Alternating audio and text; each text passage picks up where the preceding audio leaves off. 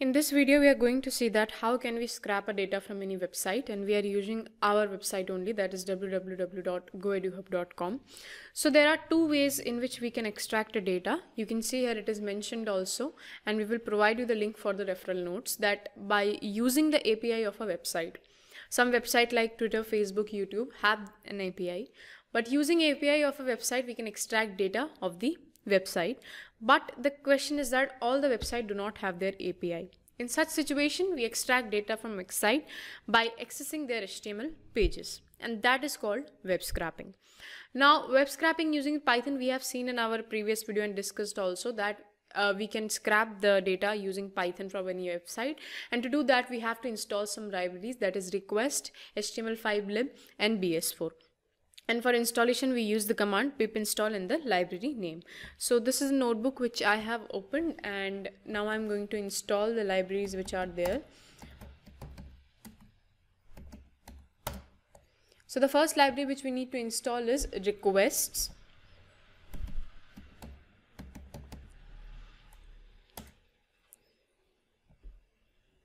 The next is HTML5 lib. We need to install that library also to extract several functions and classes from that.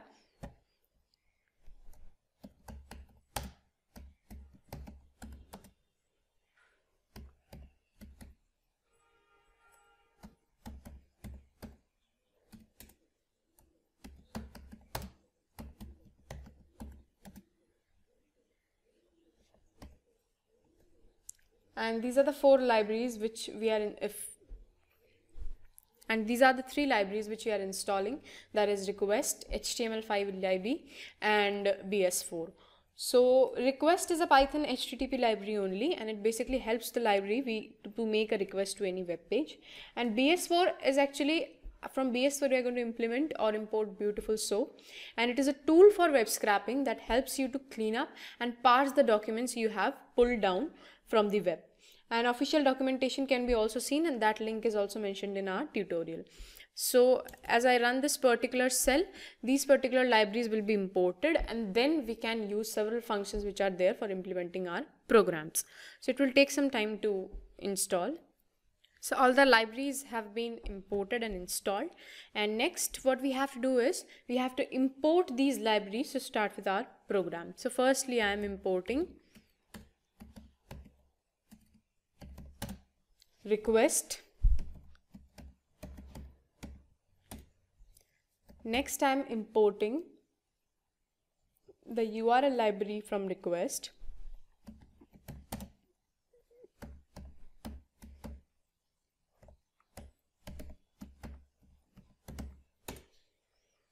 And next from beautiful soup I'm importing bs4 import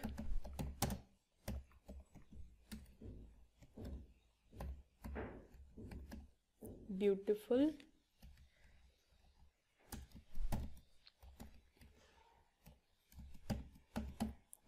Soup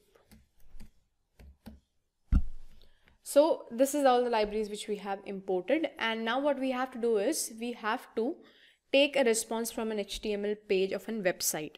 So what we have done is here you can see that. This is a basic example. A URL variable is given and then URL is mentioned of the website that is www.goeduhub.com. In response, we have actually targeted the URL that request.get this URL, print the response and HTML content will be response.content. Now, if I, why I have commented this particular line because if print HTML content is done, then all the particular thing which is there in HTML page as a content of this website, it will print the entire HTML file of the site, which is very big. So we don't want to give it a try. And as we have taken the beautiful soup, so what you're going to do, you're going to parse that particular HTML content, a beautiful soap by calling the HTML content or HTML parser, and then we are going to print the soup or if we print the prettify then what it is going to do it doesn't get the soup printed. We got the prettify soup printed. So it will show the html page in a better way. So let us do that now. So we have imported all the libraries.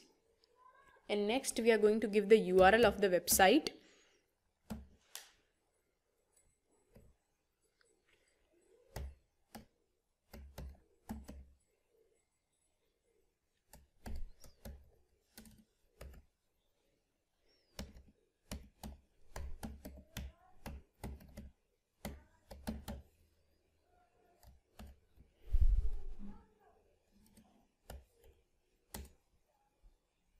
and then with the help of response we need to do is request dot get url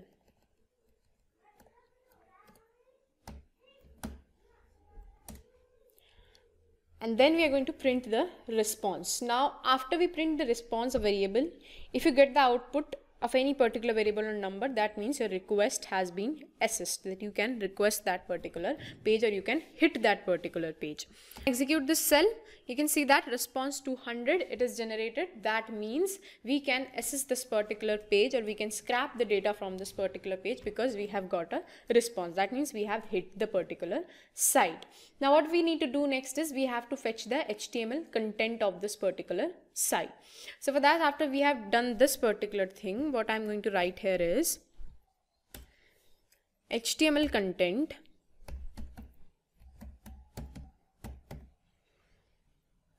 equals to response dot content you can print this html content but the thing is that it will print the entire html file and that is very big and you won't understand it. But if you want to do it you can give it a try. You can simply write print html content. But i want to print the content in such a way so that it can be readable and it can be understandable also. So for that i am going to use from beautiful soup to parse the html content with the help of html parse. And then I will got the prettify soup printed so that it will show the HTML page in a better way. So let us do that now. I will write here soup is equals to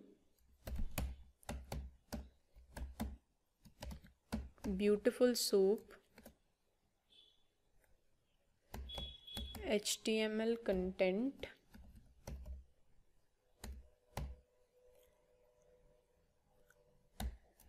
comma html dot parser.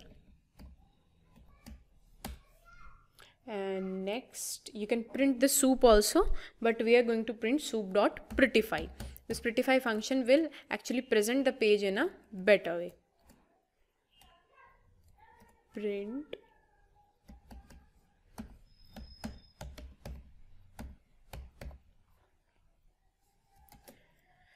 Now, as I execute this particular cell,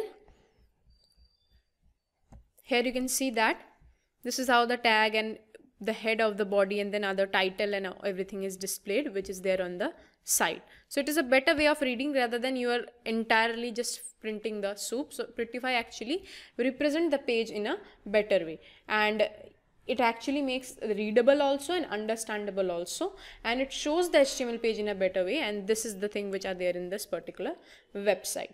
Now if you want to just print the title then how can you do that that you don't want the entire information you just want to print the title. So what we have to do is in the simple print statement you can write soup dot find all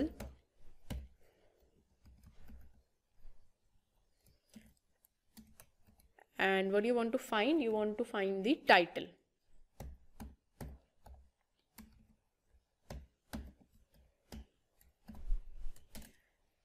So here you can see that the title is GoEduHub Technologies. Next, if you want to find that the division or the classes which are there in this particular HTML page, then what you have to do that using the same sentence in the print, instead of title, you have to write the division. So here you have to just write the div so that you can fetch all the div elements. So these are all the div classes which are there in this particular file. It is given here. All the class names and what are there in this particular and list and all things have been given. Next, if you want to find the text file, that if there are any text file in this particular page, then you can get it. So you have to write is that print find all. And here you have to just write text. So it returns blank as there are no any text file as such in this particular page. Now, if you want to give an anchor tag to the fourth number in the web page, then how can you do that? For giving an anchor tag, how can we? And you have to mention also that the fourth number in that particular page. So how can we do that? So let us see that. So what we have to do is we have created our one variable, one tag and what it is going to do soup dot find all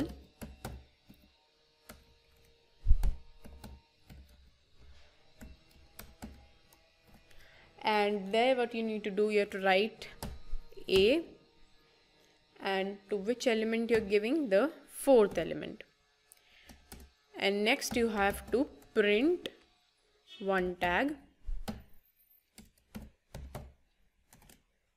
So here you can see this is how you can check for the anchor tag also that how to assess list in Python where it is shown in the fourth output. That here you can see a particular anchor tag has been given to the title goeduhub.com project summer training internship certification courses.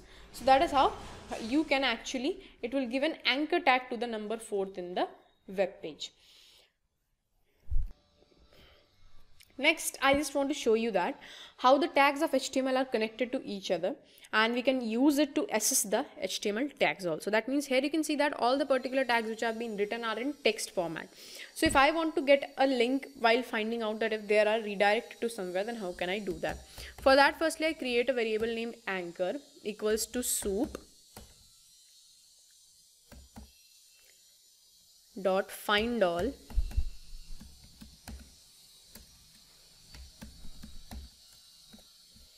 and I'm going to find a anchor. And then all link is a variable which I am creating equals to set and for link in anchor I'm going to execute a for loop.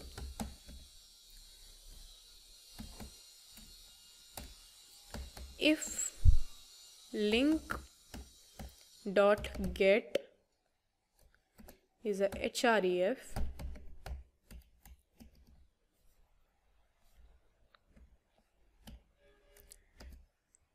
not equal to hash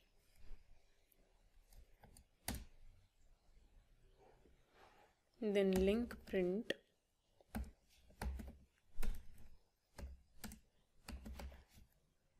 equals to https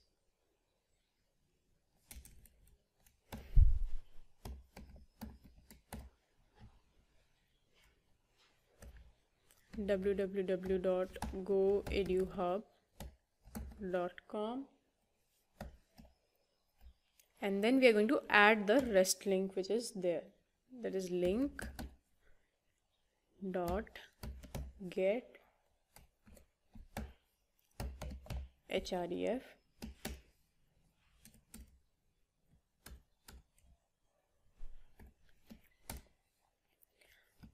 this all link is now going to add link and print link print. So what this code is going to do here we are trying to find out all the links in the url that we have taken here now you must be thinking that we can do it with find all beautiful soup method also. Yes, but we only see the links. We cannot click on the link to go to the actual website. So here firstly we store the links in the variable name anchor. After that we put on a loop on it and we know how many times we use hash instead of the link to put a condition to avoid the empty links. After that we add each link to the original URL and then we use the python set instead of the list to avoid the repetition of the list. Because we know that in list it can take the duplicate elements but in set it is not acceptable. So that is a unique value concept. When we run this code all the links in the output are working and you can go on by clicking on them. So let us run this particular cell and see. So here you can see. Now generated are the links which are there. So you can just click here and it will redirect you to the link which has been opening. Here you can see that a particular link of the web page is opening like this. So this is how is a very basic thing which I have discussed to you about a website and we have taken an example of our own website that is GoEduHub Technologies. In next video, I'm going to show you scrapping data from live website, for example, Flipkart website.